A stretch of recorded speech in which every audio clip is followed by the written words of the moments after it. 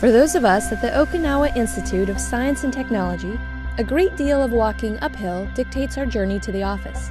This is also the story for any fish hoping to make a similar trip from the ocean to the Shiringawa stream that passes through the OIST campus. If fish want to get from here to here, to here to here, and up this hill, believe it or not, OIST built tiny stairs beneath the spillways to help them do just that. When we built the campus, we were told that we should not do anything which would interfere with the natural environment. And so, whereas the fish could freely swim up and down the hill before if they wished to.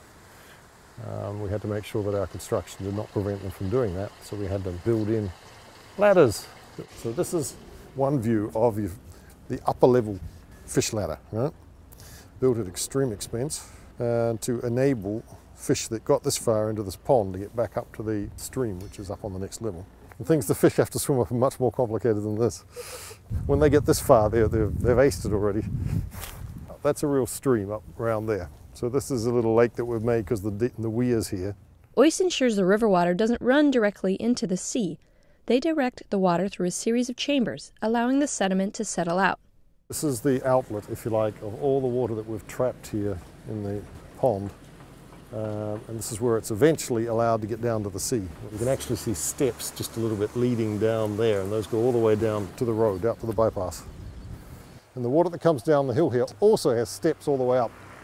Rather than just coming down in one, great long sluice, it comes down in steps to keep the water from flowing too fast. Inside there, you'll see there are steps up the right-hand side, which are all part of the fish ladder system. So the fish have never got to jump more than about 10 centimetres at a time. So, what lives in the Shiringawa stream?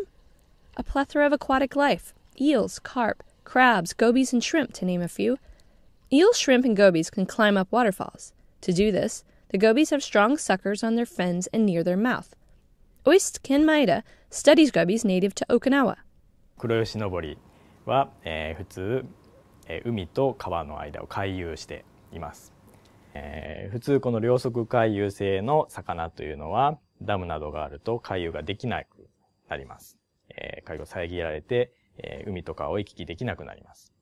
They can go up and down、えー、through this fish ladder.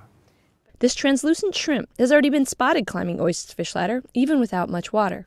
So the fish come up on a rainy day when there's plenty of water.